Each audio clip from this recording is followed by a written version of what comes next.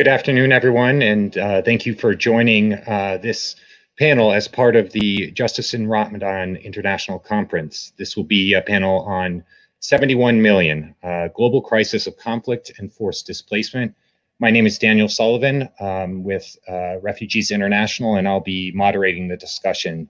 Um, we're joined by um, a great panel um, who I will introduce in a moment, but just quickly to say uh, Suzanne Sahloul from um, Syrian American Medical Society, um, Debbie Almontaser from Bridging Cultures Group, uh, and Palestinian writer Laila El-Haddad, as well as Puerto Rican Imam Yusuf Rios. Um, I'm going to start off by just giving um, a general overview of what we're looking at in terms of this forced uh, displacement crisis around the globe. And then uh, the presenters will talk about some of the specific um, places that are, are, are facing these challenges, um, specifically Syria, Yemen, Palestine, and uh, the US southern border. Um, and I want to thank, uh, this is hosted by Burma Task Force. Um, and with that, I'll, I'll, just get into it that uh, as the title of the panel suggests, there are over 70 million forcibly displaced persons around the world today. This has been a, a, rising crisis, more people than uh, displaced than at any other time in history. Um, and unfortunately, at the same time that this is happening, um, there have been lessening uh, solutions. Uh, the traditional solutions for displacement have been going down. Now, first of all, on those of those 70 million plus uh, forcibly displaced persons, about 25 million are refugees. So that's people who have been forced uh, by conflict, um, or by by climate or other uh, uh, persecution to leave their the country um, uh, that they live in to uh, to flee to another country. Usually, um, in 80% of the, the the, the time of the cases, it's to a neighboring country. Uh, the the bulk of the rest of that 70 million are what are called internally displaced persons. So uh, facing the same kinds of conditions as refugees, but uh, staying, fleeing their homes, but staying within their their country. Um, and then you have a, a, few others that are asylum seekers or stateless persons. So we'll we will talk about um, you know what uh, what that means for some of the specific cases. Um, but first, you know, we we already these are people who traditionally had you know some of the solutions were uh, to be resettled in other countries. That is has been largely brought back uh, or to seek asylum in another country. As we've seen around the globe, borders have been closing, and especially now with uh, with COVID nineteen and the crisis. Um, and so it was already at a, a, a, downward trend in terms of what are the solutions for um, uh, for displaced persons around the world. Um, but now we have with uh, COVID nineteen and the spread, we have to recognize that uh, forcibly displaced persons are among the most vulnerable in the world.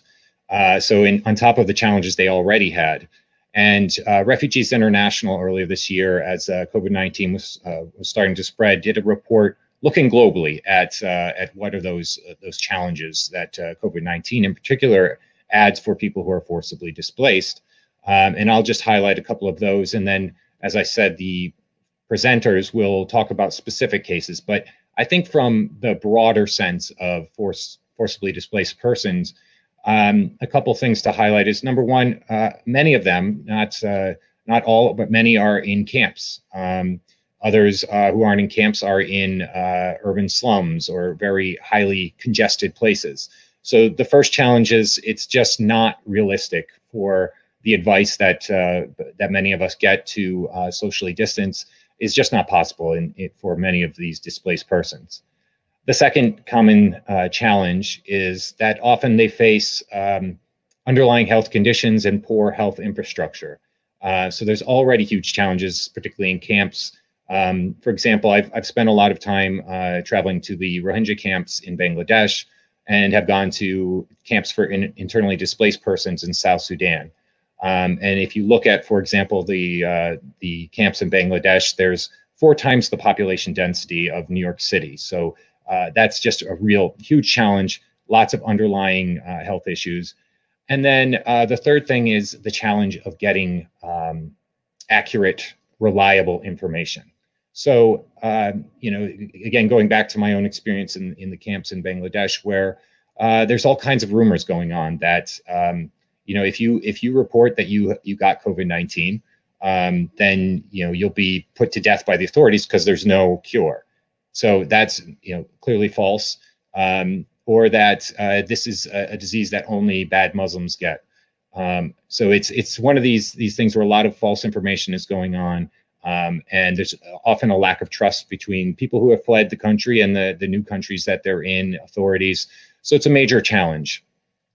Um, and in terms of some of the solutions that, to this and to, to displacement in general, I mean, there is a need to open up those uh, the borders in a safe way um, and to uh, to allow uh, asylum at a time when the the number of people who are forcibly forcibly displaced is at historic highs is not the time to be lowering the number of people who uh, are granted asylum um, and the uh, the assistance that is going to refugees and internally displaced persons.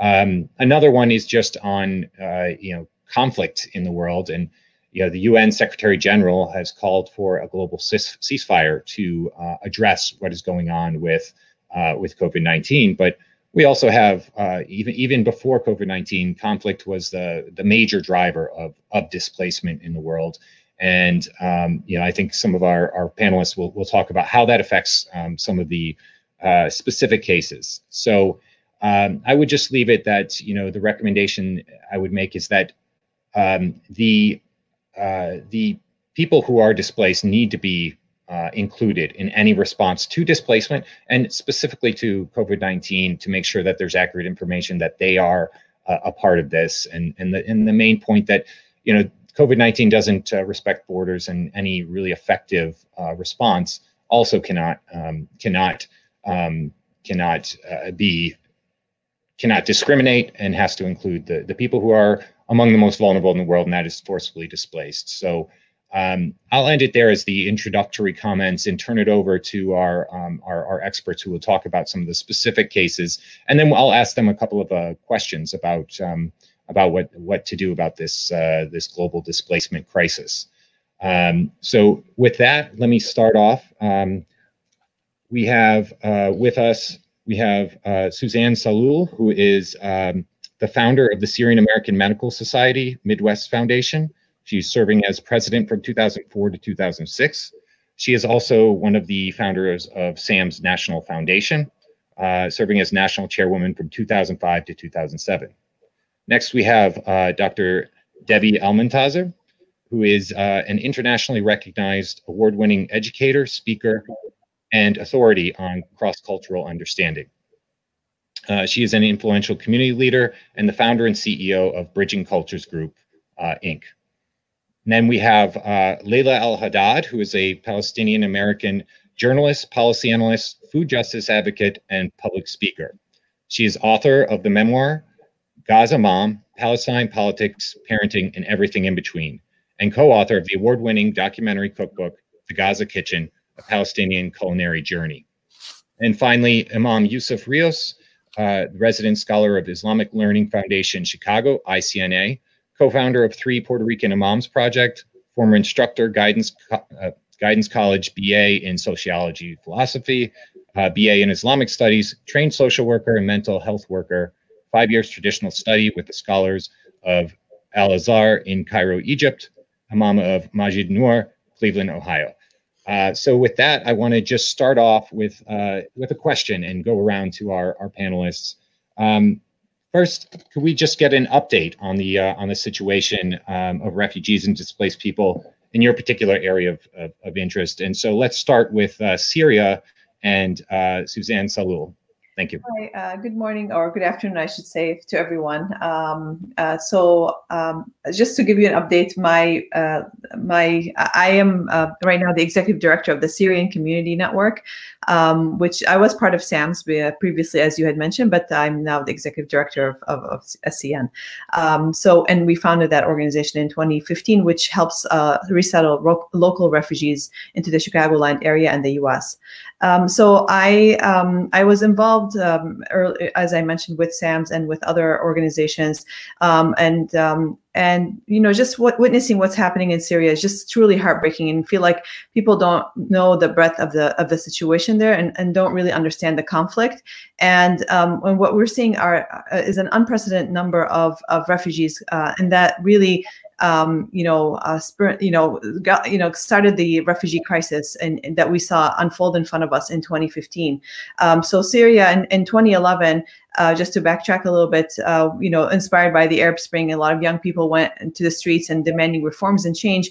Uh, unfortunately, the, the you know it, it, turned into a conflict and, and, and into this never-ending uh, crisis that seems to get bigger and bigger all the time. Um, Syria was a country of 22 million people uh, in 2011. Um, now you have over 6 million people registered with the United Nations for High Commissioner for Refugees, UNHCR. They're, um, so they're outside of Syria. And inside of Syria, internally displaced, you have about 3 million people. So that's about half of the population of Syria's uh, of Syria who have been displaced or have been made refugees. Um, and then not to mention the number of deaths. Um, the, the United Nations stopped counting deaths in 2014 when, when it reached 500,000. So you can imagine now from 2014 until now, um, you know, probably we, are looking at a million people who have uh, million souls who have lost their lives, you know, in, in this crisis. So um, this number is unprecedented. We saw people taking, you know, who, who, were fleeing in 2015, very desperate because you know the situation was unbearable. You know, uh, they were, uh, you know, somehow walking into Turkey and taking uh, boats, uh, small boats, dinghy boats, uh, into Greece, and then marching into Europe. And and many of these people who were who took to the sea be many of them drowned, and um, not everybody made it to safety. Um, many of them, men, women, children, elders. Um, you know, it was unbelievable. And this is the time when the the world started to pay attention to what was happening in Syria. Unfortunately, people were not really paying attention to the to the the, the crisis and how big it was. Um, and um, I think that's that that was a call to action for people, especially when that picture of Aylan Kurdi came out in 2015 when he was washed up on on shore. right now, what's happening in Syria is that that uh, the, the crisis still continues, even though it's not in the news. And so this is very important that um, things continue to happen. Um, uh, Russia and, and, the, and the Syrian regime continue to bomb hospitals and schools, and um, the world is not really paying attention. And, and it's so easy for all of us to just to say, well, this is, you know, a crisis far away. It's in the Middle East. You know, uh, as Americans, we're tired of, the, of hearing these things and you know also um, many uh, in the administration, whether in the U.S. administration during the Obama years or um, uh, what's coming out of the the rhetoric out of Russia and the the Syrian government. Oh, it's ISIS. You know, pivoting to ISIS so that they can cover up on what you know the war crimes that they have been uh, committing uh, all along. So it's really unfortunate. And right now, the last stronghold is um, is the northern part, northwestern part of Syria, which is the Idlib province. And we saw, again, a resurgence of uh, of, of, a bombing campaign by Russia and by the regime in, in, into this area, schools, hospitals, and you have the infrastructure of, of a whole country um, that's been destroyed, especially now with the COVID-19. I mean, imagine right now if the spread of COVID happens in Syria, where, where you've had lost hundreds of hospitals uh, all around. You have over a thousand healthcare workers who were purposely targeted since 2011 um, uh, who have died, uh, doctors, nurses, pharmacists, um, because uh, because when you lose your the doctor, your your your community's doctor, your neighborhood doctor or your hospital, you end up following, moving, becoming displaced because you need to go to an area that has services.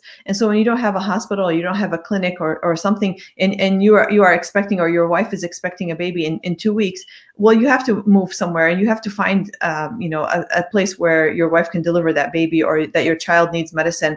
Uh, so that's how kind the you know destroying of hospitals kind of escalated the movement of people uh, uh, to becoming displaced.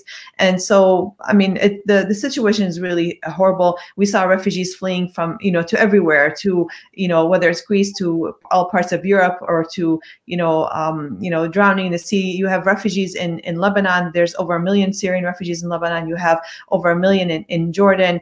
You have over 3 million in turkey um, and and Egypt and and elsewhere. So this is really a, a, disaster, and I I really shudder to think what would happen when once the spread, God forbid, the spread of COVID happens in Syria when you have this. There's no infrastructure for uh, for medical services anymore.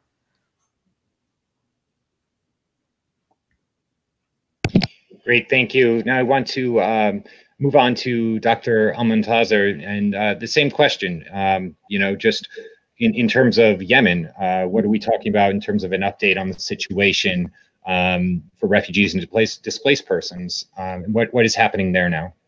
Thank you, Daniel. and thank you for uh, the invitation to actually have the opportunity to report on the status of Yemen and what is actually happening.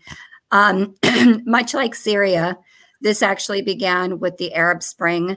Uh, after the Arab Spring, um, there was a government that was put into place. And unfortunately, uh, when elections were up and running, um, something actually happened after the election. And so the situation got really bad. Um, the war actually broke out in 2015 in Yemen, where, um, excuse me, I'm suffering with really bad allergies um, where it the situation got really bad um, in terms of displacement, and so we have thousands and thousands of Yemeni Americans um, who have family members uh, who actually, um, you know, are uh, facing a great deal of um, adversity. Um, when the war broke out, even Yemeni Americans themselves were not actually evacuated by the US government. They had to find their own way of um, getting back to the United States. And many of them had actually, um, you know, uh, petitioned for their family members um, and were waiting for years on end. And then unfortunately, the situation um, was exacerbated by the Muslim ban um, under the Trump administration. And so many families actually started to evacuate their family members to neighboring countries such as Djibouti, um, uh, Sudan, uh, Egypt, Jordan. Um, there are people that are in Malaysia as well as India. And the reason that many of these families move their families out of Yemen is one, because of the war, and two, the US embassy was actually closed in order for them to actually be able to have um, their family member go in for their visa uh, you know, interview. And so um, we have thousands and thousands of families that are actually, um, you know, uh, refugees right now in Djibouti, Malaysia, in Jordan, and in Egypt, um, just, you know, languishing and, and waiting um, for their interviews uh, to be able to rejoin their families. The number of families that we have been um, at the Yemeni American Merchants Association, which I co-founded um, after the Muslim ban. We've only been able to reunite 15 families, um, but this is, you know, thousands of families that are still um, not united due to the Muslim ban. And now it's become even, you know, even worse because those who were making progress with cases Unfortunately, uh, due to the COVID 19 um, immigration ban that was put into place by the Trump administration of no, uh, you know, no um, entry into the United States has made it even much more difficult for families. Uh, Yemen right now has um, cases uh, of COVID 19 um, just as of, excuse me, as of um, Friday, uh, the number of cases are 35 COVID positive cases that have been reported. We know that this number is probably much more bigger. Um, knowing how this, you know, uh, disease spreads, it's through, um, you know, people communicating with one another. So we, we imagine that these numbers are going to get, you know, even higher. Um, and this is going to be catastrophic for a country that's already very challenged in so many ways, um, you know, from the war, from the infrastructure um, that has been destroyed due to the war, um, as well as to, you know, the lack of health care um, and humanitarian efforts. Right now, presently, as we speak, um, agencies, humanitarian agencies that have been providing um, uh, humanitarian aid have actually decreased due to COVID 19. And so you can only imagine the situation is only going to get worse uh, than what it already is. Great. Thank you very much. I, I want to uh, turn now to Laila El-Haddad um, to ask the, the, the question. Now, we, we've spoken about Syria and Yemen. Um, so now let's get an, an, update on what is the, the situation for um, displaced persons in Palestine today. Hi, thank you, Daniel, and sorry for joining belatedly. Um, so when we're talking, when we're referring to uh, displaced persons um, and refugees, Palestinian refugees and displaced persons, obviously we're referring to an extremely uh, broad group of people, right? Um, it's sort of a, a unique um, situation in the sense that the, you know, formally legally known as the Palestine refugees uh, comprise uh, a group that um, are under the auspices and care of their own organization, they don't fall under the auspices of the UNHCR, so they fall under the auspices of UNRWA. As many of you know, the United Nations um, uh, Relief and Works Agency for Palestine Refugees in the Near East. Quite quite a mouthful. Uh, and um, you know that just just to summarize briefly, because a lot of people actually aren't familiar. Um, UNRWA was established shortly after the 1948 Nakba or catastrophe uh, that displaced hundreds of thousands of Palestinian refugees.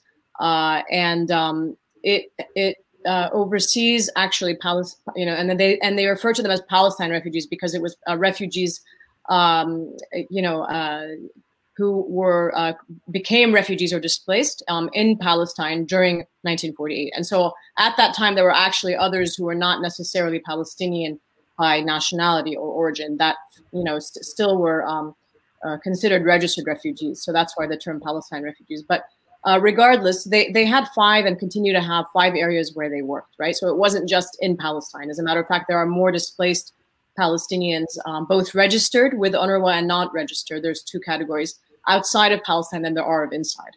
Um, and uh, and the five areas, generally the field areas where they work, uh, are um, uh, the Gaza Strip, the West Bank, uh, Lebanon, Syria, uh, and Jordan.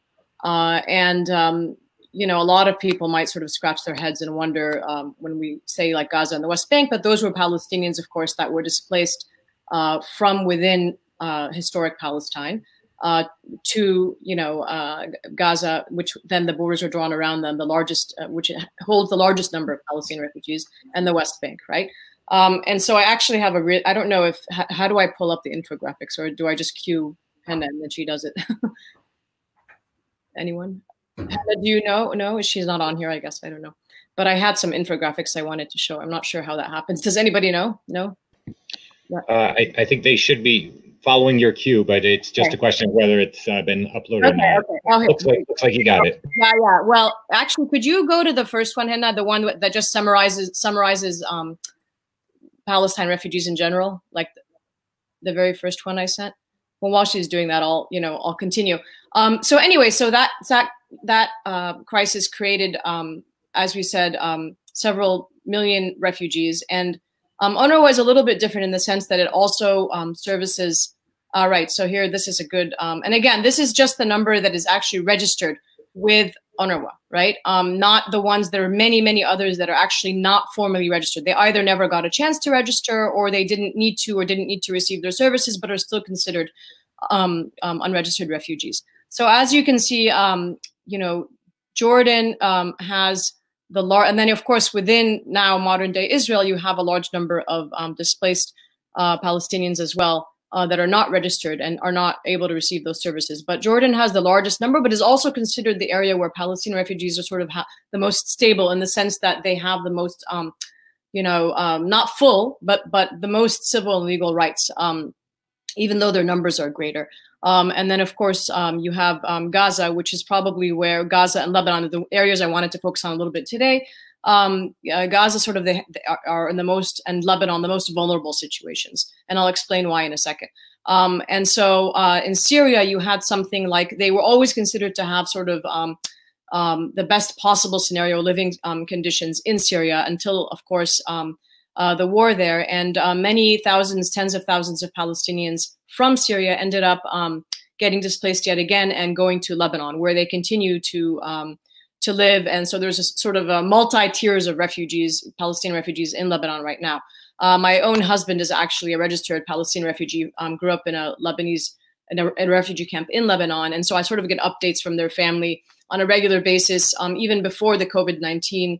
Um, as many of you know, there was ongoing tensions there and an economic crisis that um, disproportionately affects the Palestinians there the Palestinians um, in Lebanon really have it the worst off because they don't actually have. Um, there's about close to a little bit under 500,000 Palestinian refugees there, um, and I want to say something like 12, if I'm not mistaken, um, refugee camps. Um, but the problem is that the Palestinian refugees there lack the ability to work in something like um, 29 different professions. They don't have full legal and civil rights. They're not considered uh, citizens, of course. They they have um, perhaps the worst category of a travel document or passport that I think anyone could possibly have. Um, and um, you know, in addition, of course, to the overcrowding and housing conditions, but currently with the economic crisis there and COVID 19, it's really hit them hard. In addition to, of course, the UNRWA funding crisis, which many of you have might, might have heard about when um, when uh, the Trump administration um, uh,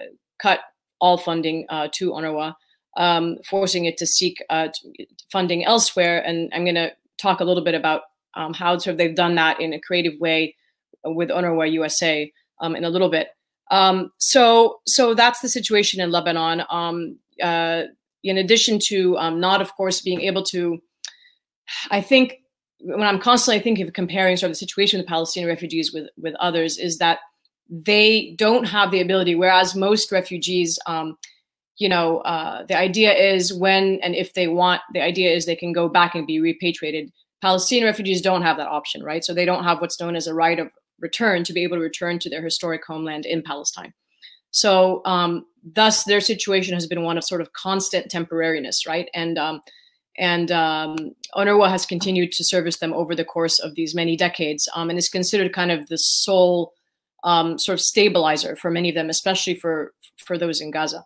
Um, I'll talk a little bit about the situation um, in Gaza now. I'll end with that. I know I don't have that much time.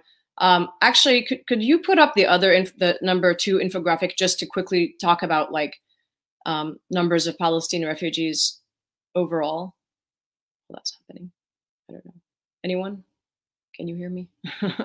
there we go. Okay. So again, I we saw earlier where UNRWA works and where the registered Palestinian refugees are in the various like you know areas um, in the Middle East. This is one that this is an infographic um, that talks about the numbers overall worldwide, um, both registered and unregistered. So you can see it's actually quite interesting. I don't know if it's on here, but the largest number outside of the Middle East is actually in Chile um, in South America. Um, I don't think that's on here, but um, and of course you have many in, and this should be this is in the thousands. So when you see like Gaza Strip, it's like one, you know, 1.3 million or whatever um, in Arab countries, West Bank, so on and so forth. Um, so this just gives you a sense for where where they are. Um, could could you go to the next one, please? The next infographic. I can't remember what it was, but I just want to see if that's what I want to be talking about next. Um, so the reason that Gaza is kind of unique um, when it comes to the situation of displaced Palestinians is because um, most of the population of Gaza, there's 2 million Palestinians in Gaza. Oh, is that the third one? I thought there was another one. Okay, that's fine. I'll talk about that in a second. The, there's 2 million Palestinians in Gaza, and as many of you know, they um, live in what's known as the uh, um, you know, largest open air prison in the world. We've heard this before, this expression. Um, where they have uh, no means, they, they don't have any sovereignty, right, over their borders, over their airspace, over their, their sea um, space. They've been um, subject to uh, a blockade for more than 12 years now, um, you know, near hermetic closure. Um, so it's a very sort of unique situation in that sense. And at the same time, the overwhelming majority of those 2 million people, something like 75 or 80%, um, are pal registered Palestinian refugees who are under the auspices of UNRWA. And so um, you almost have like several tiers of, of, governance there in that sense. You have the Palestinian Authority in Ramallah, you have um, the Hamas administration in Gaza, and then you have UNRWA, who oversees not only, you know, unlike the UNHCR, they don't have a mandate for protection, but they oversee the education, um, um the work, the you know, vocational skills, um, uh, the health, um, uh, and so on and so forth for all of these registered Palestinian refugees, right? Um, so that's why when something like cutting the funding happened in U.S. was the biggest funder, it really hits home hard, right? It, it really did create a crisis for these Palestinians, specifically in Gaza and Lebanon. Um, I can tell you that firsthand. Um, and so what you know you have in Gaza, the situation, of course, is compounded by the ongoing blockade, by the you know the ongoing closure, by the unpredictability um, of the um, entrance and exit of um, of goods. Um, and of course, people, right? Um, cannot move freely in and out of Gaza. So so their situation is compounded by um, by all of that. Uh, all that I've mentioned there. Um, and so UNRWA does a really good job there working specifically in mental health. In addition to education, the UNRWA schools are kind of top notch rated um, over there.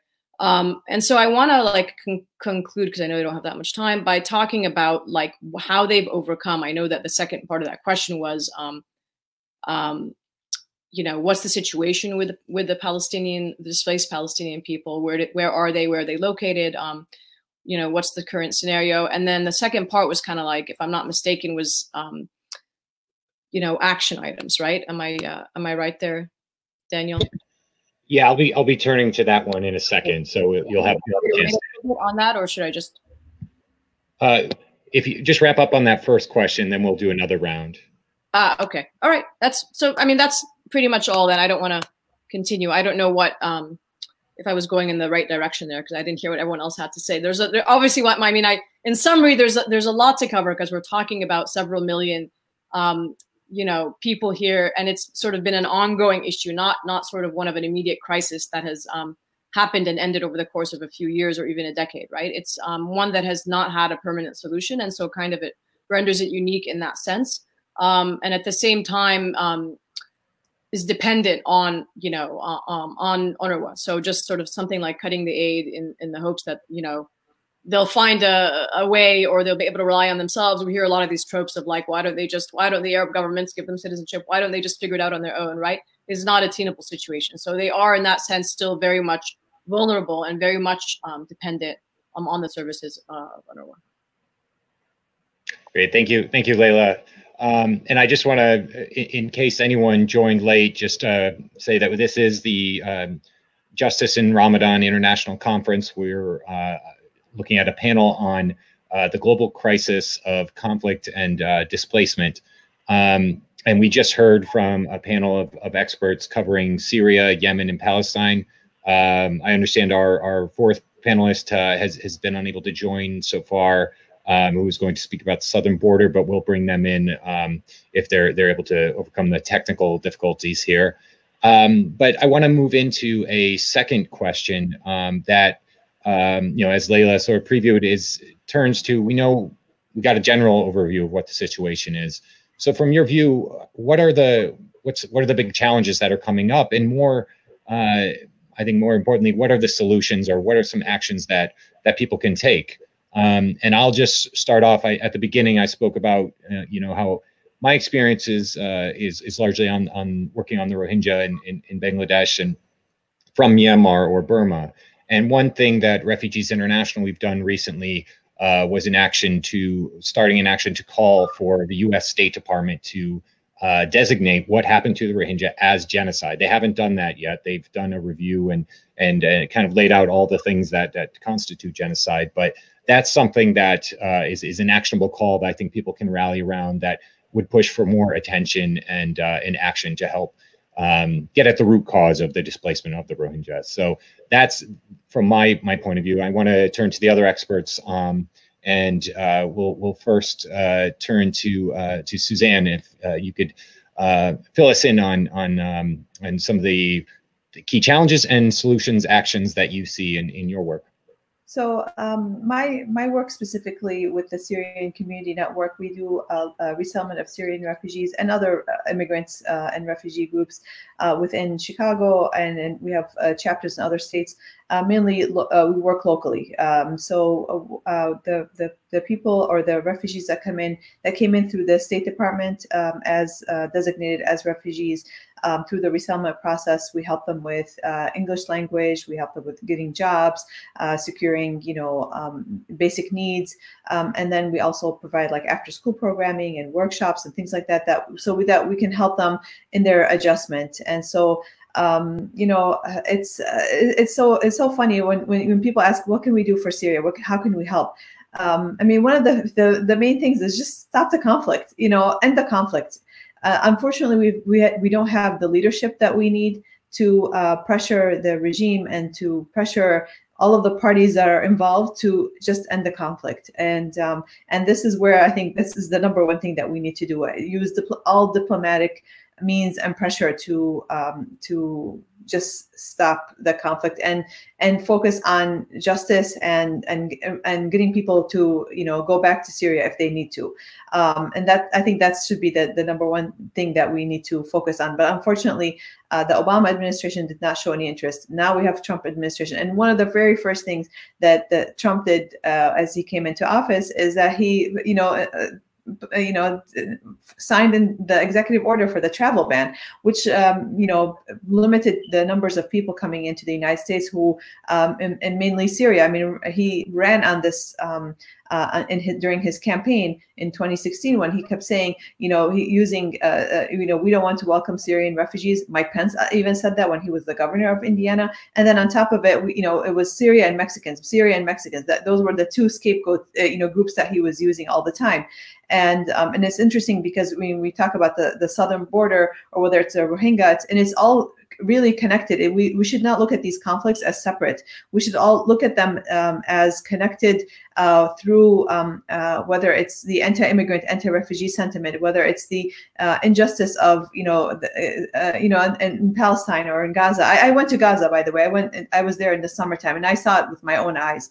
Um, and I went. To, I traveled to Bangladesh uh, for the Rohingya refugees with um, with MedGlobal and um, and I saw all of these things that were happening, and all these movements are interconnected. When you have um, you know an administration and uh, world leaders who are just so uh, anti you know um, you know, uh, uh, you know, causing this chaos that is, you know, breeding uh, the the refugee crisis, and that's and that's the, the, the main issue that we need to have leadership from the United States, from the United Nations, from uh, whoever it is, just to stop the, the, the crisis that's happening and stop the bleeding.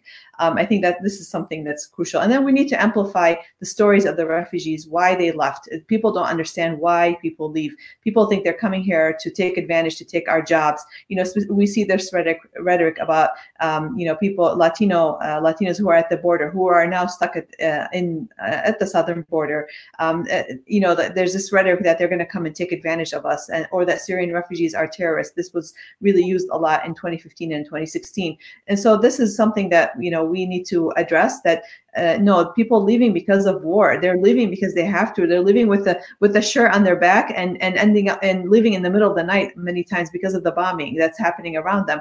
Uh, what would you do in that situation if you were uh, uh, you know if your whole neighborhood was being bombed? So i think this is the the narrative that we need to focus on versus this you know oh they're coming here and you know kind of you know this whole like you know um, the, the, the stories that come out about immigrants and refugees as trying to come and take advantage.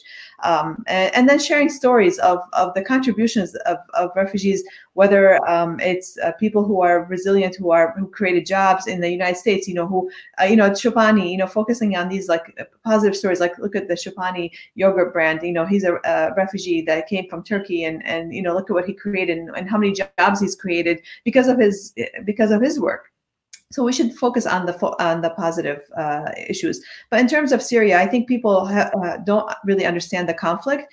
Um, it was too often framed as uh, an issue with ISIS. It started out as pe young people, just like our young people here in the United States, that demanded wages, that demand reform. But it, it escalated, and the government started to uh, persecute and torture and and um, and uh, you know uh, really um, uh, go after people but then the whole because there was this gap of leadership and there was this uh, vacuum that was created then you have these crazy groups like isis that formed um, and kind of like um, you know took the narrative of what's happening in Syria. And this is really unfortunate because we're now we're turning a blind eye to uh, to all the things, the abuses that were that are happening in Syria versus, and then we're only looking at the lens through ISIS because this fits the narrative of the war on terror uh, terror after 9/11, and you know this this is more of a convenient uh, rhetoric versus what what really is happening in the Middle East and what's happening in in in, in Syria specifically. There's a lot of injustice uh, in in Syria and Palestine Palestine and and uh, with the Rohingya groups, with with so many people in the Middle East, and it's it's really um, I, I something has to give, and I really worry about all of this rhetoric that's going on, and then the fact that we have um, uh, an, an, administration that is, does not understand what is really happening, and that we have the travel ban, and that we have the cuts in the refugee program in the United States. That that whole program has been gutted slowly um, uh, over the years, and now uh, you know I, I, I really you know once um, the new year comes in, the new um, fiscal year comes in in, in uh, October of 20, 2020 when the president will make a determination of how many refugees will be resettled in the United States, uh, last year he he set the number the bar at 18,000 which is the most that we can resettle. I probably this year it'll probably either be 10,000 or less um, and and so this this program is being gutted um, you know one one step one year at a time. Um, and so I think this is something that we really should be alarmed about and we should uh, really care about um, uh, uh, that this this is a program that is a lifeline to many people and it's life saving um, so I mean, there's just so I, I, mean, I can go on and on about so many things, but you know, and just in regards for Syria, I think people just don't understand what's really happening and don't understand the gravity of the situation and how desperate people are. And if we can just have that empathy and understand where people are coming from, I, I think we would be a much better society where we have we can um, uh, learn how to uh, accept people a little bit more and and be more loving and and try to understand where people are coming from. Great, thanks so much. And I think that's that's really important. I mean, uh, you know, as I said at the outset, we're facing uh, unprecedented numbers of people who are displaced globally. Now is not the time to be rolling back the, mm-hmm. uh, the solutions that we did have, in particular the the refugee admittance program. Um, so I want to turn to the next um, uh, expert, uh, Dr. Almontaser, to talk about the same question of you know what challenges and what, what possible solutions or actions can be taken in the case of Yemen. I think um, what Laila said earlier um, in her presentation is that there's a lot of parallels in in many of these issues, or uh, you know, across you know these countries is really important. As I was listening to Suzanne, um, you know, it's similar issues that we are facing right now in Yemen, and uh, the refugee situation is just beyond um, belief in terms of people fleeing for their lives, um, fleeing due to the war fleeing due to uh, you know the impoverishment um, that you know people are experiencing in Yemen right now. We um, have 24.1 million people in need of humanitarian assistance. Um, we have 17 million people um, in urgent need of uh, you know sustenance to really help them uh, be able to you know support their families and we have 17.8 million people in need of um, of you know wash assistance, which would really help them be able to live. You know what right now um, Yemen is experiencing is the worst um, you know humanitarian crisis on the face of the earth. It's been you know designated as that um, by the UN. Um, you know, the, the, drought situation there has been something that has been flagged for the last five years. Um, the fact that there is no, you know, clean water, there is no sewage system there. Um, just recently, this past um, month, there were actually um, floods. Uh, these floods affected 148,700 people in 13 governance um, since mid-April. Uh, these people were displaced from their homes.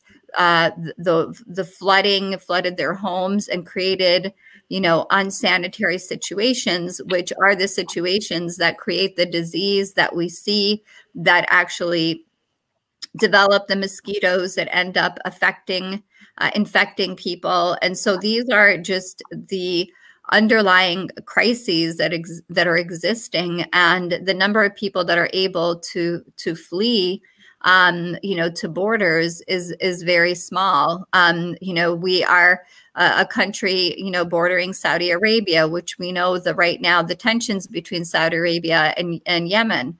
Um, in addition to that you also have Oman and the number of people that are actually able to to flee there. So many are finding their way to, to Djibouti, um, you know, by swimming and putting themselves in dangerous situations.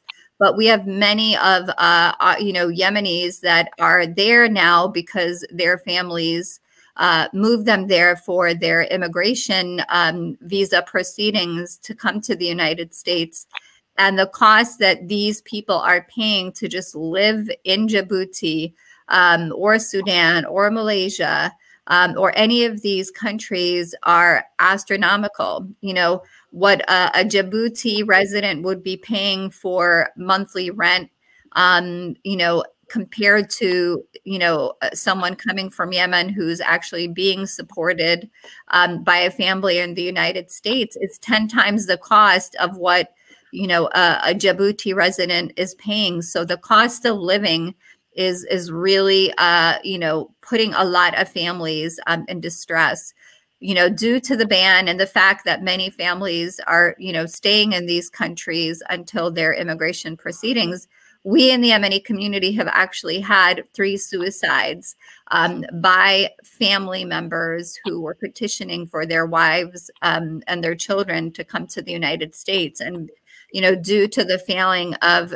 the interview, we've had these you know, men who've committed suicide. One of them committed suicide because he couldn't no longer support them um, and, and, found this as a way out. Um, so, this situation, the refugee situation, has so many um, ripple effects, you know, on communities. Um, we have children that are actually being separated from their mothers.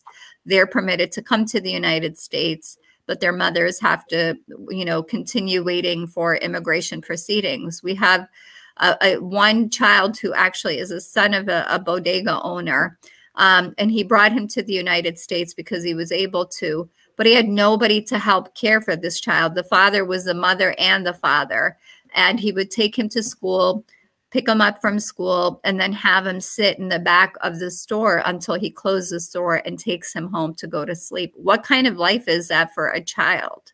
Um, you know, to not have a mother to tuck them in and, you know, at night. Um, to give them a, a, hot, warm, cooked meal, to have a normal childhood, you know, uh, that we would hope that every child has. And this is just a minor issue of, of you know, of a of, of a child, but all of those families that are right now in refugee camps um, in bordering countries are facing far more hardship. And so some of the solutions that I, I would say that we need to work on is improving the immigration um, system that we have right now. Number one is repealing the ban. The ban must be repealed um, in order for families to be able to get reunited.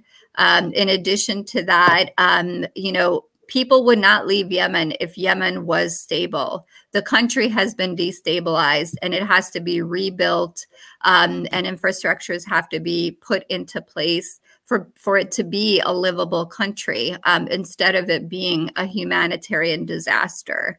Um, and so I think that it's incumbent, you know, on all of the countries that have been involved um, in this war uh, in Yemen to pay, you know, reparations and help rebuild the country. Um, and I think, you know, opportunities like this to shine a light on, on, you know, these countries and what, you know, their residents, um, as well as their members who are in camps are facing is really critical for us to continue having these conversations. Great, thanks so much. Um, and so now I want to uh, turn to Laila with the, the same question of big challenges. What are what are the the key kind of solutions and um, uh, and, and things that can be done, actions taken. Um, and then I just want to remind everyone. After that, I'll have I'll have one more quick question. We're going to turn to Q and A. You can submit uh, your questions through um, through the YouTube channel um, for Justice for All, uh, and I think they're coming through on Facebook as well. So uh, some people have already done that. I encourage you to get your questions in. And uh, uh, with that, Laila. Yeah, I mean, I loved what Suzanne said about you know the the the um, the need to uh, you know humanize um, these narratives because that's ultimately you know that's a lot of what my informs my own work. Um, is that just that is I see the um, effectiveness um, of being able to sort of change a narrative um, through that way and really affecting people's um, opinions about a situation. Because you know we can talk figures all we want but it's not um, always going to be able to convey the reality of what's going on. Um, and and it's sort of you know obviously we need those figures we need to understand the context but it also sort of uh, reinforces this kind of like victimhood and um, and, and pity. And I, I, can tell you, speaking at least um, as a Palestinian from Gaza and knowing Palestinians in Gaza, um, absolutely resent that. Like it sort of, sort of infuriates them to be able to, to have the world view them as victims, right? Um, and um, so anyway, I mean, I mean that said, I did I did just want to you know um, speaking to sort of the the cut in funding and the and the need to just sort of not um, not end solutions that were working or helping at least. Um, I just wanted to read this little um, blurb from um, one of the you know UNRWA USA's talking about the ongoing effects um, and specifically in Gaza, um, especially with uh, everything happening with the funding cuts and, and uh, COVID and so forth. Um, due to the ongoing effects of the comprehensive land, sea, and air blockade, 1 million Palestinians, half of Gaza's population, and two thirds of the Palestinian refugees there live in poverty and cannot afford food for their families. This is a direct result of the ongoing blockade that's further threatened by the US's defunding of UNRWA. 80% of Gaza now relies on humanitarian assistance from international organizations like UNRWA. That is a 12 fold increase on the 80,000 refugees who required assistance in 2000. Um, so, you know, and this is just to point out that Gaza was not a place that was deeply impoverished before, right? Um, it is a place that has a lot of potential, that has mm-hmm. incredible talent, um, ingenuity, resilience, um, and so on and so forth. Um, and it also, I should say, when we parallel it with other situations, is not a place where people can sort of flee from, right? Mm-hmm. We've had three um, different attacks um, on Gaza. There was nowhere for people to run or flee. Um, so you're kind of fleeing internally within Gaza, but mm-hmm. you can't seek shelter. You can't, you know, people have tried, but they've drowned. You can't get in a boat beyond three nautical miles without being shot at by the Israeli Navy. You know, um, Egypt closes the border on one hand, Israel closes it on the other. So this is the situation in Gaza. But with that said, I wanted to jump to sort of like um, what you know. I, am going to use the sort of a, the example of what UNRWA has done. I think in a very um, effective and creative way to combat the, its defunding. Um, and so they created this kind of sister branch in the U.S. called UNRWA USA, um, and what UNRWA USA has done is actually reach out in the past year. It's it created what what was known as um, an UNRWA Alumni Association. So kind of like um, you know, and this kind of goes into your third question. Um, it reached out to Palestinian refugees who have sort of gone through the system and were able to successfully, um, uh, you know, um, sort of, for lack of a better phrase, make it right Um, and and give back to their communities and to other Palestinian refugees and using them as sort of a case study, highlighting what is a Palestinian refugee, um, what do they, you know, what was their upbringing like, what, where are they now, what are they, you know, um, to be able to humanize the situation. Um, and so beyond that, they've also, um, you know, they do an annual, they've done like an annual Ramadan campaign where they um, get influencers um, to do fundraising for them. They do something specifically for the Gaza refugees called Gather for Gaza, um, we hosted one last year. You know, it was a you know fantastic success. Um, and so they have people host iftars, for example, and then link to the fund, you know, fundraising fundraising page. They do um, an annual um, Gaza 5K, and they, have done other ones as well to support um, uh, Palestinian refugees, in, and they do that in various towns and cities. So all of these kinds of really thinking outside of the box initiatives, being able to tap into the willingness and the desire of um, you know, uh, really uh, well-meaning people, you know, in the United States and, and elsewhere to want to help um, effectively and putting them directly in touch and giving them means to be able to do that, um, you know, rather than just a like a donate button or whatever, empowering them, right? Um, helping them to understand and humanize the situation of Palestinian refugees, and then empowering them by giving them various toolkits and different ways that they can um, be able to directly influence and help uh, change the lives of Palestinian refugees. And I think that's, I just wanted to highlight it because I think it's really something that, you know, other organizations can learn from. I know the situation with the Palestinians is a bit different, um, but still, it's, I think it's worked incredibly well. And, you know, I encourage you to go to both the UNRWA main website um, and the UNRWA USA because there's a lot of fantastic little videos highlighting the lives of different Palestinians. Um, you know, um, and then you know photos as well, and then um, different ways that people uh, can specifically help, right? Whether it's you wanted to sponsor an iftar, whether it's you wanted to um, participate in a 5K, or whether you know, um, or in another way. So, um, trying to end that on a positive note. Do you want me to address the third question, or are we going to wait on that? Yeah, so I, I think that's a good um, yeah. uh, kind of bridge. I, I think we'll do one one more. I want to do one more quick lightning round of questions. Um, I have a question, and then um, I'll you know I'll, I'll, read out some of the questions we're getting in from okay. uh, from those watching. Sure. So the question is, you know, when we when we think about all this and we hear about it, and those those of us who work with some of the displaced people and the people who are listening now, it can be a bit overwhelming, right? Um, so I do think it's really important about talking about the the humanization and and uh, and really uh, highlighting some of those inspiring stories. I know uh, with the people I've I've talked to when I'm in the camps, it, you just meet some incredible people, and uh, you know the example I have of uh, on my you know keeping in touch with people who are uh, in Bangladesh in the camps, and there are uh, groups, uh, women groups that are sewing masks to to help try to prevent the spread of COVID nineteen, and all kinds of efforts like that. So I just want to do a quick uh, kind of lightning round with everybody. Uh, if you could just give us one example of something that you've seen in your work that has really inspired you, or things that um, you know, kind of kind of leave it off on a little bit more of a positive note. So um, when we start with uh, Suzanne. Oh, oh, wow! There's there's just so many. There were so many stories and um, uh, of hope and resilience. Um, uh, two summers ago, I went. Last time I was in Lebanon, um, I went to uh, with my husband. Um, uh, with he, his organization is called MedGlobal, and they do a lot of the uh, refugee work all over the world. And I, we went to a camp in, in Lebanon, and um, I visited this one family in the tent. And the girls, Adima and Sarah, um, uh, they just they were just so positive and so inspiring. I, I like, despite the fact that they lived in this horrible tent and the, it was like the, the road was all rocks and, you know, they, they just had the smile on their face that, you know, you, you know, it, it's like you, you think to yourself, like, if I was living like that, what would I, how would I be? How would I act? Um, and then the only thing they ask for, like they have so much dignity.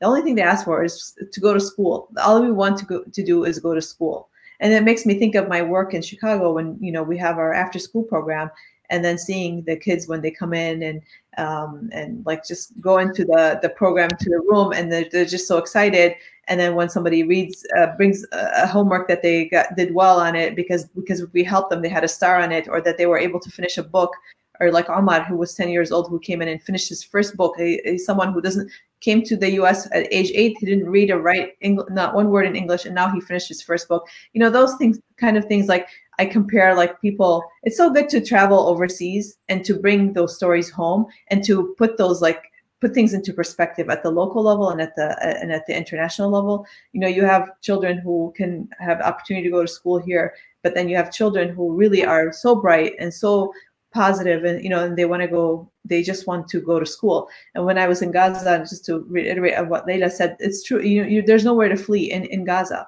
Um, and so we saw so many parents we talked to they all they wanted is jobs for their children their teen children who are going into nursing going into you know doing studying and doing these types of things but they have nowhere to go they have nowhere to implement that work and there's there's barely any jobs there. Or doctors who can't go to international conferences like my doctor my husband goes to uh, an international conference so he can up- update his his skills but they've come up with creative ways to either tune in on uh, online or, or whatever you know things like that shows the resilience of people. And i think this is where, where we should focus on is the resilience of people when they um, have uh, nowhere to go no school no you know somehow somewhere something uh, there will be a solution.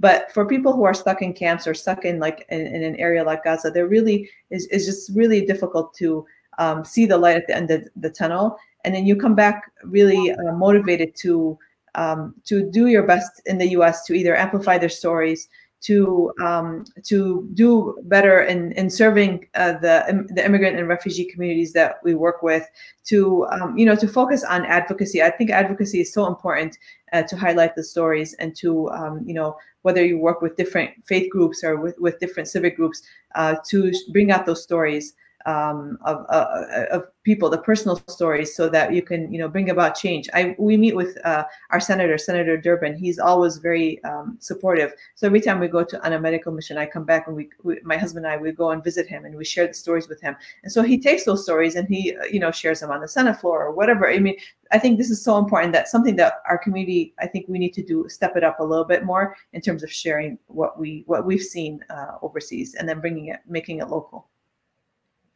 Thanks, and I think that last point is really important too for those uh, those who are watching who are in the U.S. That um, you know, getting a hold of your representatives uh, and and and letting them know um, that there's people out there who care about these these issues and and that want to see change. Um, so I'll, I'll, move now to Dr. Almontaser. I think you're you're on mute right now, so if you could just unmute and then give us your uh, your example.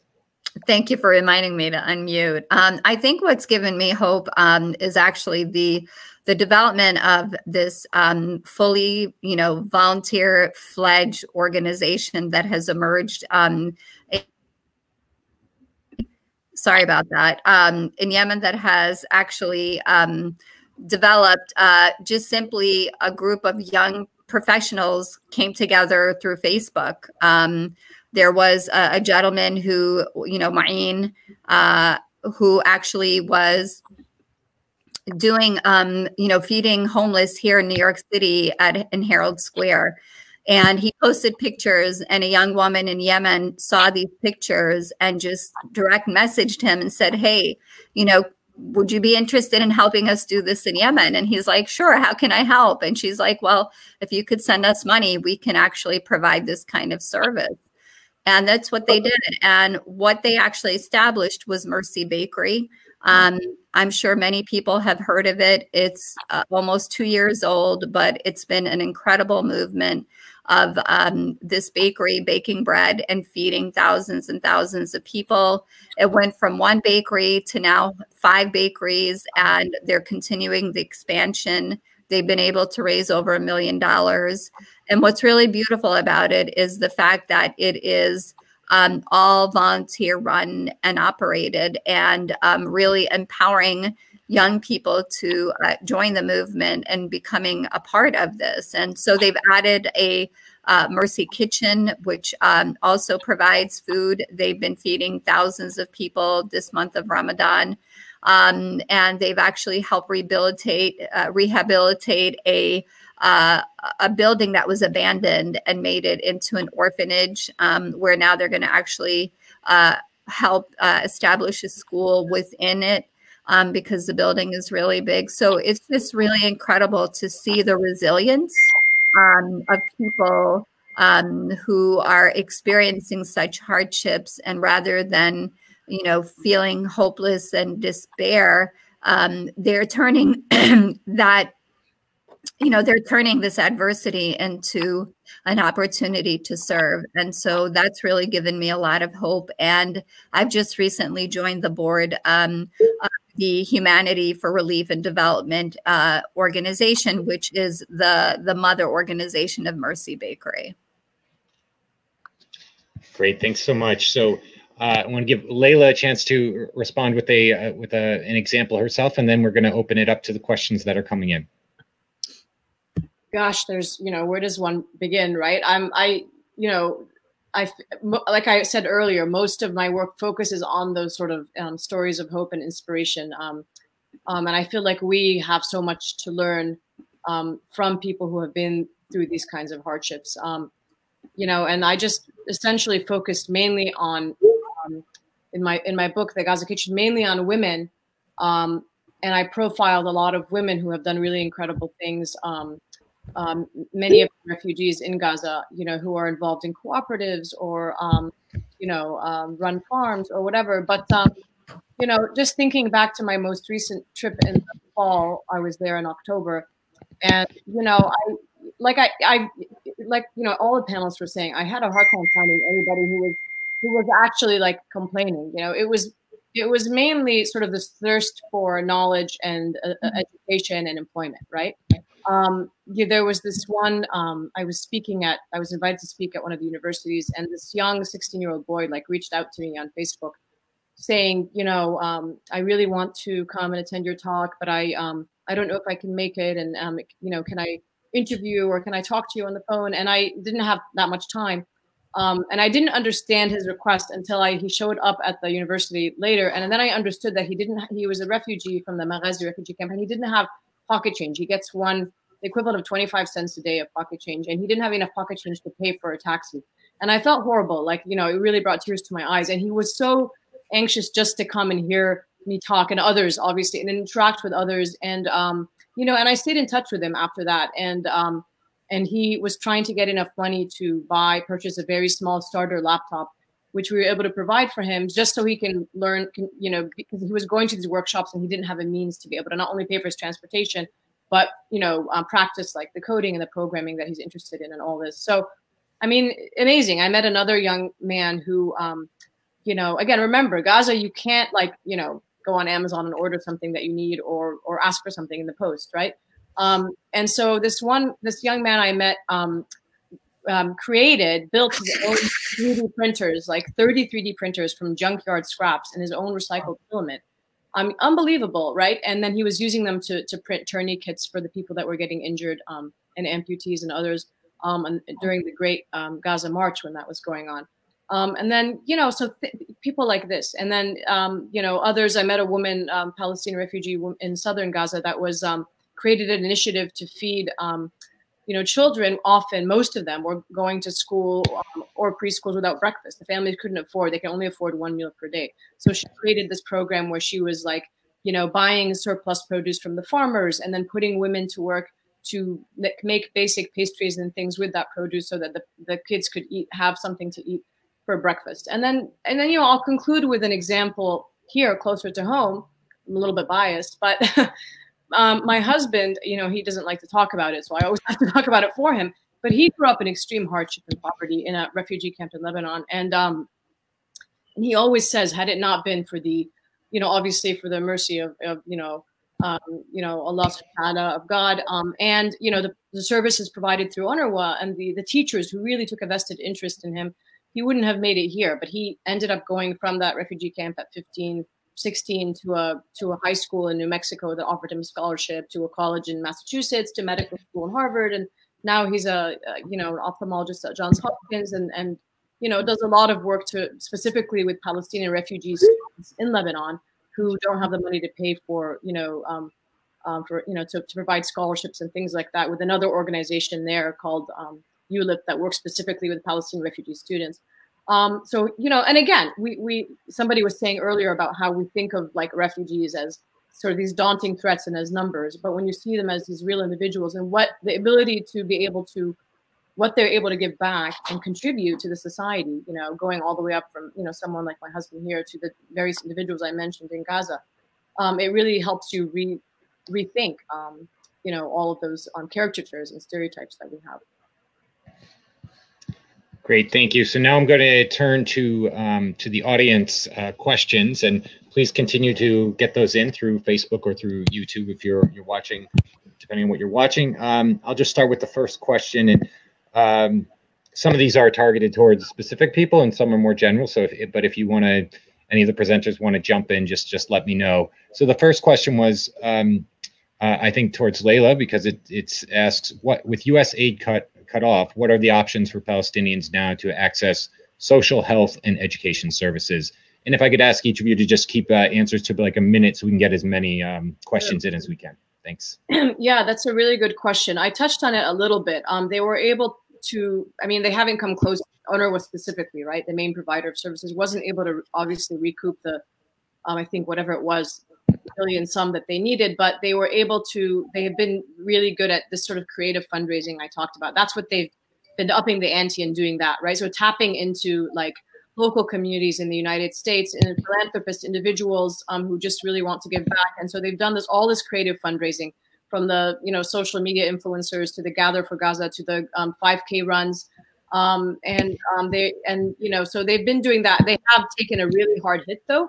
Uh, I can tell you that personally. Palestinian refugees in um, Lebanon and Gaza specifically, um, and the most vulnerable, have not been able to receive the kinds of um, uh, assistance that they they were before. Right. So um, specifically the medical relief and the food packages and things like that. so they've just had to you know tap into other organizations and really focus on that creative fundraising. Great, thank you. Um, so the next question um, is for Suzanne. Uh, what's the future of Syria, the Syria problem in your view? Uh, well, the Syrian crisis is um, uh, is uh, the crisis, and and if we don't if we don't um, you know uh, work towards ending the crisis and the conflict, it will um, it'll just keep going, and then you'll have uh, more and more refugees, more displacement, more injustice, more of everything that that has already happened. Uh, something's got to give. You know, in, in 2015, um, the, there was a peak, uh, a surge in, in bombing and things like that, and people started to uh, flee and then get on boats, and then they, many people drowned. And you know, um, you know, I, I I shudder to think about what would happen if another round of more extreme bombing, more extreme, you know, brutality, what will that will what will happen then? You know, if if in 20 when we saw that in 2015, 2016 with the with the drowning, what would happen? You know, um, again. Um, so unless there's a will, a political will to push parties, um, you know, to end the conflict, I just don't see uh, this conflict ever ending. Uh, I, I don't know. Like, I really don't know. Like, we're baffled. Uh, you know, um, the world doesn't seem to care. The, you know, that this, the, this, the Syrian crisis changed the world because you, uh, out of the, you know, there was always anti-immigrant, anti-refugee sentiment in the world. This was always you know there and we always have right-wing groups but the syria crisis brought those groups out because when people started to see the syrians going into europe marching in um, you know people started to panic oh my god you know the syrians are or the muslims you know because they're mainly muslims um, and you know going into europe walking into europe there was an out outpouring of support, but there's also an outpouring of you know uh, people who didn't want them to to enter. And we saw this rhetoric in Europe. We started to see it here in the United States, and we started to see it all over the world. Um, and so these movements are interconnected. And so um, uh, I mean, it just I, I think if uh, we're I think we're foolish. We've been foolish. Um, uh, as uh, in the U.S., not to have more invested um, uh, invested time into ending the conflict, um, we've been foolish as a Muslim community. Uh, I see many Muslim leaders who talk about all kinds of crises, but they never bring up Syria. You have your fellow Muslims going into boats and drowning, and then they tell you, "Well, we don't want to get involved," or you know, you know, how do you do that? How do you how do you go against your our values as Muslims that we're supposed to stand up to injustice, and then at the same time our whole story began with the prophet uh, you know our prophet being a refugee going into walking in from mecca to medina escaping persecution and then you have muslim leaders who just kind of you know we don't want to get involved we don't want to you know um, and so I, I feel sometimes I feel very uh, upset with our community. Uh, uh, at the same time, they don't they didn't understand the gravity of the conflict. They, they thought it was just another thing that was happening. Okay, you know, it's a little civil war, and then it, will end in a few years. But it didn't. It, it's now ninth year. It changed the world. That all the the immigrant anti-immigrant anti-refugee sentiment started with the one with Syria, and then you have Trump um, you know, using that as you know uh, uh, to for his travel ban and all of the executive orders that he's been uh, putting into place. People are you know are not noticing that now that you have this COVID nineteen that we're all preoccupied with this. That you know his uh, his aide Stephen Miller uh, you know made the uh, that no immigrants will be coming into the United States. Period. And this is not just during the COVID. This will probably per be permanent until you know Trump is is out of office. So I feel sometimes that we we were we kind of did not pay attention. So I think this is something that we we should really advocate to end the the conflict um, by any means possible. Um, and you know, it, it, unless uh, otherwise something else will happen, and that will make things even even worse, more than they are already are.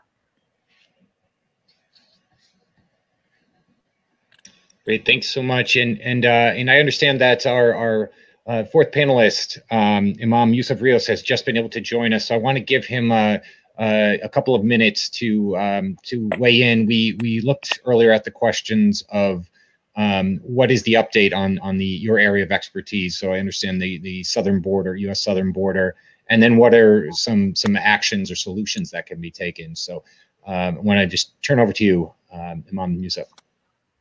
Bismillah, alhamdulillah, wa salatu wa salam ala rasulillah basically, uh, most of the work has been uh, done, at least that I'm familiar with from my part, is uh, has actually been done by Imam Wesley Lebron, who was working with CARE, and a sister that's called, uh, her name is Um Hamza from Latino Muslim Foundation. And so they had provided me some insights into that situation. And what we're seeing there is that over at the border is that we're seeing not only people from Central America uh, in uh, North America from the Mexican side, so to speak. But we're seeing also Muslims are caught up in that uh, transition phase at the border. And there was a movement to try to uh, create a shelter for them. Actually, the Latina Muslima Foundation was trying to spearhead that because of the humanitarian crisis. Because uh, when by the time that people reached a certain point in Mexico prior to arriving at the Mexican and uh, United States border, they were finding that people were having a number of issues, uh, whether it was health issues or psychological issues or even at a spiritual level. so the the humanitarian crisis continues to be a, a real issue not only because of the symptoms and the symptoms you know i think everyone here probably is aware of that uh, what the symptoms are that people are refugees but really uh, behind the scenes in the in central america for a long time now we're talking maybe about uh, almost uh, 40 years 30 30 40 years almost there's been a, um, a destabilization of the economic situation of the central american uh, countries, and there's the overlapping problem of, of drugs and gangs. And so that has destabilized the conditions for people to uh, have a secure life. And that's basically the background of a lot of this. And, and, you know, it goes back to policy. A lot of the problems that we're seeing with this migrant flow has to do with the wars in the Middle East, and it has to do with the uh, the 80s drug trade, you know, the Iran Contra scandal that really destabilized Central America and the low intensity conflicts that were taking place. And so that just is, is it just progressed until the point where you have failed states. And that's what we're dealing with. We're dealing with something as simple as poverty and people looking for opportunities to find safety and the ability to maintain themselves and feed themselves in environments which are extremely problematic and unsafe. So that's what that's what we're we're seeing that that's the problem at the border that people are, are trying to look for basic stability in a time period in which there's not a lot of open arms for people to come into another geographical location under those conditions. You know and i think that with what was just mentioned about the borders being closed and with the situation of covid and the new policies it's just going to escalate to another level. So I think that we, as people that are involved, especially on the religious front, you know, I'm glad that we have these types of forums, but I am personally disappointed that the human being is not at the center of a lot, a lot of our religious discourse. Yeah, thank you. You know, and uh, and there's a dehumanization effort that's taking place within religious circles, is taking place within the economic sector, and is taking place within the political sphere. But the voice of those who are claiming to claiming to champion rights and so on and so forth, it has to be stronger from the angle of um, the human being being centered. Now, with what we're seeing globally, we're going to just see, you know, a big demand for labor at any cost. La- the value of labor has gone down, and so you, when you have these refugees, when you have people that have been displaced, we know that there's a dark side to that. We know that there's human trafficking, there's organ trafficking, there's all kinds of stuff that go into this. It's not just the issue of people uh, coming into a, a, state trying to seek basic rights, but there's also the dark side of, of, of what happens. So that I think that we need to up our discourse on the dignity of the human being. And I think if we don't raise our standard in, in a non-sectarian way and in, in a non-sectarian way, I'm not just talking about uh, religious organizations or religious orientations. I'm even talking about political groups, you know, because political groups now have they splinter to such a point where they don't have a common ground. But we need a common ground front that can uh, look to make sure that the human being is the centerpiece, right? That there's a dignity point there that's, that we're looking at uh, preserving and we're looking to fight for, and we're looking at legislation and workers' rights for children, for women, for displaced people, uh, and, not, not only on workers' rights from the angle of a uh, something of a wage that's not a slave wage, but also from the issue of healthcare. I think the issues remain the same, but for some reason, that's not what's at the that's not what is at the core of all of this. And so we, you know, as we witness the as we witness the situation unfold and transform and change, I think we're going to be seeing more dehumanization and I think that the values that we're kind of calling on, whether they're religious values from the uh, from the major religions, or whether they're religious or they're whether they're values coming out of the liberal tradition, I think a lot of that is eroding in the Western world. And we're, and we're looking at a new phase, you know, of economics and politics, which we don't really have anything to anything, any common ground or any common background to call on. So we're in a dangerous position, but I think that you know the situation as i mentioned without going into too many circles, we have to make sure that we're injecting into the discourse on multiple levels. You know, whether it's whether it's the issue of politics or economics or even religious discourse, you know, or uh, even when it comes to the issue of civil liberties, when it comes to the uh, issue of humanitarian mm-hmm. work, we have to bring back the human being, and that's what's lost in this. So we, you know, we can take some lessons from what has taken place in the past when we talk about dehumanization. And we know that, for instance, we talk about the Great Depression in recent times because of COVID, but we also know that, you know, World War II, a lot of it was dehumanization. And so the dehumanization process, you know, as that took place, there, there was a, a need for a response. And part of the response that came out of that was to, you know, recognize the other. And, and I think we need to really push that. We need to push that you know the the other has disappeared the human being has disappeared and as long as we don't have that and we don't I have to be honest with you we don't have that front on it no no one is talking about the human being and you know the the the, the loss of dignity of the human being and the dehumanization imam, imam yusuf uh, um, yeah, I want to thank you very much for that. Those comments, I think they go uh, go well with what we've uh, what, what has been said earlier. I think there's a common strain about the um, really important about fighting that dehumanization, and I'm just uh, um, conscious of of uh, the last few minutes uh, remaining. So um, I just want to uh, I'll take just a couple um, more quick questions, but first, let me just ask if there's any of the um, the presenters who want to want to give uh, any any final uh, quick quick thoughts, and then otherwise, I'll I'll ask maybe a question or two, and we'll wrap up. Okay, why don't I? I'll just go back to the uh, the I'll question. Just one quick thing, which is I know somebody was asking here, what's the biggest trope that uh, about refugees that you have all heard that you would like to end? Um, I think it needs to be sort of made very clear that you know, we say obviously refugee and it becomes this kind of like stigmatizing label, but really it's anybody, right? Any of us could become a refugee and we don't like to think of it that way. I think it's hard for us to even wrap our head around, you know, um, Imam Yusuf was talking about World War II, about the fact that, you know, like Europeans were refugees at one point. Nowadays we think refugee and we think like brown people or like third world countries, whatever, or they're nuisances or whatever. This could literally be any one of us, right? and they're human beings they're individuals some are wealthy some are not you know some are professionals some are not um, and so i think just being able to wrap our head around that um, help will help us um, you know like you were saying center um, uh, the human interest part of this equation a little bit more uh, rather than just think of it kind of as a sort of problem that we need to uh, address or tackle in a very sort of technical way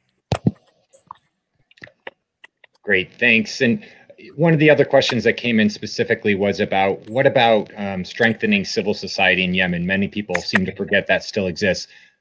There's, I think that can be open to everybody, civil society in whatever area that you work on. How can it be strengthened? So um, we'll just, uh, uh, I think, start off with uh, Dr. Alman Tazer on uh, Yemen, and then if anyone else wants to jump in on that civil society yeah, question. absolutely. Um, I think that that's a really valid question, and um, it, it's one that um, is going to get a very complex answer because. I'm sorry, can you hear me? Um, as I was saying, it's one that is very complex, um, and it's complex because there are so many fringe groups that are there. There you know the conflict is so intense. Um, and if you bring like you know right here in the united states if you bring seven yemeni americans to the table to discuss it you're going to get seven different um, opinions uh, and hard to really um, get people to um, come up with a, a, solution. But I think the one thing that we all can agree, and I think that everybody is trying very hard to get to is to um, cease and desist um, and go back to the negotiation table um, and try to restabilize the country, you know, put in the, a, a, government that's going to be reflective uh, of all of the different parties. So um, there are people that are working, but I think that um, in order to make this happen, there needs to be support from um, outside countries and the UN to really bring people to the table to help um, civil society resume living peacefully. Thanks. And I, I think unfortunately that's all the, the time we have for uh, for questions. So uh, if I can just wrap up very quickly, I think that um, you know there have been some really important common strains coming through these comments, namely, um, you know, this is not the time to forget the people who are most vulnerable, among them the uh, displaced persons, um, and then that uh, it's not the time to be rolling back solutions like asylum and uh, and, and accepting refugees. And then finally, the real importance of fighting uh, dehumanization when we're talking about these issues. So I just want to thank uh, Justice for All for hosting this, um, and um, just wanted to mention if you if you enjoyed this this um, this session, um, please consider uh, contributing to giving.justiceforall.org. Um, and again, I want to thank all of the the panelists for uh, a, a, wonderful, engaging discussion, and thank you all uh, who joined in. Thank you very much, and, and enjoy the rest of your day. Thank you. Ramadan Mubarak, everyone. Thank you. Bye-bye. Bye.